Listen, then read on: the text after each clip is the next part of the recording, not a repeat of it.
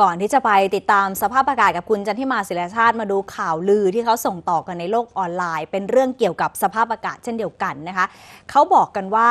ถ้าร้อนเนี่ยจะร้อนยาวไปถึงเดือนกันยายน อันนี้อันหนึ่งอืมอีกอันหนึ่งล่าสุดเลยบอกว่า กรมอุตุนิยมวิทยาจะประกาศเข้าสู่ฤดูฝนช่วงสัปดาห์ทีสี่4 ของเดือนนี้อืมเพราะฉะนั้นอีกไม่กี่วันครับถ้าเป็นเรื่องจริงเกษตรกรยิ้มแน่นอนอ๋อนะคะใช่ฮะแต่จะจริงหรือเปล่าไปตรวจสอบกันก่อนค่ะ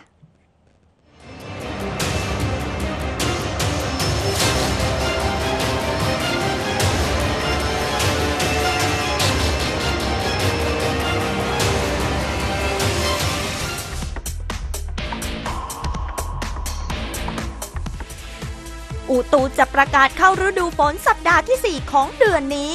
ตรวจสอบชนิดไปที่กรมอุตุนิยมวิทยาได้คำตอบว่าชัวแชร์ส่งต่อได้ค่ะ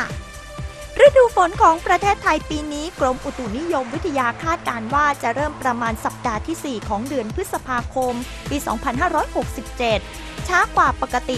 1-2 สัปดาห์ และจะสิ้นสุดประมาณปลายเดือนตุลาคม 2567 ปริมาณฝนรวมของทั้งประเทศในช่วงฤดูฝนปีนี้ จะใกล้เคียงค่าเฉลี่ยปกติ และใกล้เคียงกับปีที่แล้ว โดยในช่วงครึ่งแรกของฤดูฝน ตั้งแต่วันเริ่มต้นถึงเดือนกรกฎาคม ปริมาณฝนรวมส่วนใหญ่จะใกล้เคียงค่าเฉลี่ยปกติ ส่วนในช่วงครึ่งหลังฤดูฝน คือเดือนสิงหาคมถึงปลายเดือนตุลาคม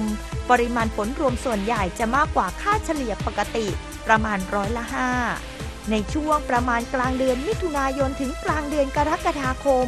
ปริมาณและการกระจายของฝนมีน้อย ช่วงนี้ต้องระวังเรื่องของฝนทิ้งช่วง จะทำให้เกิดการขาดแคลนน้ำในภาคการเกษตร โดยเฉพาะพื้นที่แล้งซ้ำซากนอกเขตชนลประทานได้